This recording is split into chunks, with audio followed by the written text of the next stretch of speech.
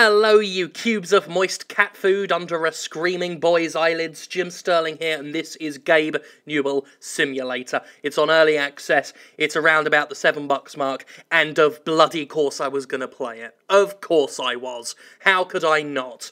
Let's look at how to play. Okay. That's a very professional looking tutorial screen. I think we already know what kind of ride we're in for. 1 to change weapons, E to pick up weapons and items, I to open the inventory, C to crouch, spacebar to roll, left click to shoot. Okay, I thought it might be a bit more complex than that. Silly me. Let's play. Gabe Newell Simulator, select level 1. Today will be held... Is there any sound? I don't hear anything. Today will be held in Los Angeles, the G3, the biggest trade fair in the world regarding video games. You see, they changed an E to a G. That was satire. Valve will take part in the event. It will have some important announcement to make. Skip. Okay, here's the sound. So that's pretty much the end of my talk. I mean, I really am just saying this is how we think. This is what's motivating our decisions. Uh, you know, we're kind of, you know, I don't know how not to think. So clearly this got Valve's blessing to go up. It's on the storefront and everything. I know some people like, oh, they'd never allow this, but considering some of the shit they have let go up, like, this is not beneath them at all. Time, Dr. Freeman? Is it really that time again? Right, this isn't really video games yet. Okay, okay. After that, all the biggest companies not to go bankrupt have come together and decided to introduce inside the headquarters of Valve some monsters to stop Gabe and not let him publish Half-Life 3. Jesus Christ. Okay. Um, right. Okay, that's... Yeah. Yeah, looks a bit... I would say looks a bit closer to Robin Williams, um, God rest his soul, than Gabe Newell, but, you know... They've tried. So we're going at a relatively stable 30 frames per second. The uh, mouse cursor, I'm not sure if you can see it, sometimes it doesn't show up when I record, but the mouse cursor is on the screen at all times. And turning is a real fucker.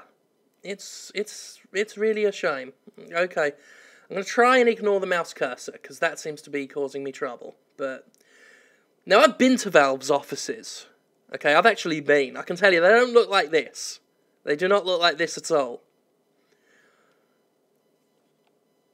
Again, no, no sound for any of this. Oh, wait. Well, we've got a grenade. Uh, that does... Oh, God. Okay, hold on, hold on. Let's get some distance. We can't get some distance. Fair enough. Um... Oh, it's allowed us to... It's acting like we've got a grenade, but we do have zero out of zero grenades. Um, so he's just kind of firing nothing. Okay. So we need a weapon before we can do anything. That looks like another monster. I'm guessing these are all pre-bought assets from somewhere. Okay, we can't... Can't jump over that. We'll run back. There's a load of Team Force. Oh my god. This isn't this isn't even funny bad so far. This is just real fucking cack. So where do we get a fucking weapon? I mean, apart from obviously the fucking weapon who made this game. Level 2. Maybe there'll be some weapons here. Once it loads. Right. Now, just, just give us something. Okay. Right, now we have a weapon. Good. As we silently move on. Okay, the frame rate has dropped considerably here. We're down to 20. But the gun does make a sound. That's something at least. We got our first kill. So it isn't really a simulator at all. It's a it's a shitty third-person shooter that... Oh, he's stuck on the floor. Shitty third-person shooter that someone put to the word simulator into to try and make it sell a few more copies. Someone very desperately hoping this becomes memes. Yep. Look at that. I mean, none of these monsters have any relationship to each other. This is always what I mean by asset flip. You know, this fucking twitching monstrosity doesn't look like it belongs in the same game as that one. And none of them certainly look like this weird. What is wrong with his arm? Gabe Newell's arms all. He's, he's the rag doll from fucking Batman. Okay, so we, we've discovered Gabe Newell's secret supervillain identity at last. Okay, we, there's no going in there. We can't walk through that monster. Fair dues. If we run out of bullets, we're fucked, though. Okay. Right. Incidentally, I don't know if any of you saw, there is a, uh, a Tumblr blog someone set up called Jim Flips the Bird. JimFlipsTheBird.tumblr or something like that, in which someone tried to prove that I'm the worst asset flipper of them all. Some total no-name wannabe developer going by the name Xenobyte Studios uh, I don't believe they have a single game or even evidence of a game in progress to their name. Um, some rumour that it's digital homicide in one of their disguises. We are we are truly trapped behind this bit here. We'll try and we'll try and work work our way out somewhere. There we go. Um, but it's an interesting read. I highly recommend you read it. Um, they seem to think that they certainly don't know what asset flipping is. Um, because I paid an artist, an actual artist, uh, to design my Fuck Konami t shirt with the bird logo done up like Snake, like Big Boss. Um, they seem to think that I'm committing gross copyright infringement and theft. Uh, now, obviously, my shirts all go through sharkrobot.com, who it's their job to obviously make sure they're selling above board material. Now they cleared it. The art is original. It was designed by one of my artists who I pay, uh, who in this case they wish to remain anonymous because well they designed a shirt called Fuck Konami. Uh, they'd rather let me take the responsibility for that. I thought there might have been bullets or something we could pick up, but no, it's what the hell is that? I don't know.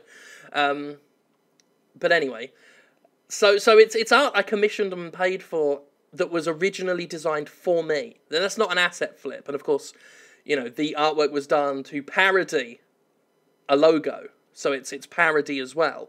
Um, asset flipping, of course, is when you just buy something someone else made. You didn't even commission it. It's it it has nothing to do with your own artistic vision, and you just plonk it into a game, sight unseen, untweaked. Uh, I mean, that's the big difference between me and an asset flipper. Is oh, Gabe's dead, is that if if Twitter does decide that the shirt is not cool and gets in touch, um, I can pay my talent to redesign the shirt. Unlike these asset flipping developers who have no talent, figuratively or literally. So, fuck them. I found that funny as well, this whole, oh, Jim's I'd hate to be in Jim's shoes when Twitter's lawyers find out about this shirt. Do you, do you have any idea how, how these things work? Like I've been threatened with lawsuits and I've I've dealt with copyright things like for a lot of my career. The very worst that will happen, the worst case scenario that would happen would be Twitter sends me a cease and desist. Okay? That's the worst that would happen. It's not like they'd suddenly show up with cops and I'd get sued into oblivion. That's not how these things work. I'd get a request to change what I'm doing. And if that were to happen, again, I don't I don't think it's likely. I think I'm all right, but if it turns out I'm wrong and I have to change it, I'm happy to work with Twitter and change it. But you know, when you're dealing with these know-nothing developers who are clearly fueled by bitterness at this point and have no idea. Is this still Valve's office? have no idea how the fucking law works. You know, they, they seem to think everything ends in some dramatic fucking lawsuit that, what the fuck is this dude now? Again, looks nothing like the other shit. He doesn't belong in this game, man. He mullered the shit out of me.